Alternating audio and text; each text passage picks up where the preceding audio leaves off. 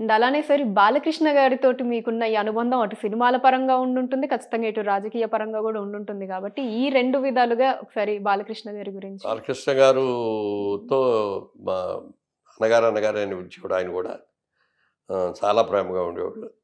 అంటే ఆ ఫ్యామిలీలో ఒక మెంబర్ కింద అయిపోయాను అనమాట అన్నదమ్ముల అనుబంధంతో.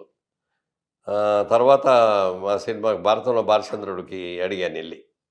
బాబు ఇట్లా కోడి రామకృష్ణ గారు డైరెక్టరు సబ్జెక్ట్ వచ్చి చెప్తారు ఒకసారి వినండి బాబు. వింటే మీరు కనుక ఒప్పుకుంటే హీరోగా వేస్తానంటే సినిమా చేద్దాం అనుకుంటున్నాను.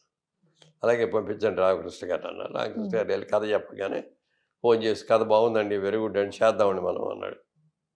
సినిమా చేసాం ఆ సినిమా కూడా బాగానే ఆడింది. బాగా ఆడింది మంచి పేరు వచ్చింది. ఫుల్ కోఆపరేషన్ ఆయన.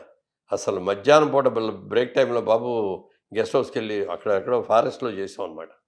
గెస్ట్ హౌస్కి వెళ్ళిపోయి ఒక గంట పడుకొని రండి బాబు అంటే కూడా.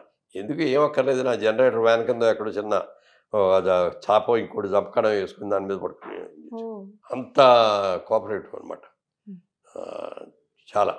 అంటే బాలకృష్ణ గారి నుంచి రకరకాలుగా కూడా చెప్పే మనుషులు ఉండొచ్చు కానీ మనిషి మాత్రం బంగారం. చాలా చాలా మంచివాడు. కొన్ని మనిషి అంత తర్వాత అన్ని ఐదేళ్ళు సమానంగా ఉండవు కదా. అట్లా కొన్ని చిన్న చిన్న డిఫెక్ట్స్ ఉంటే ఉండొచ్చు కానీ బట్ ఇన్ టోటల్ మాత్రం చాలా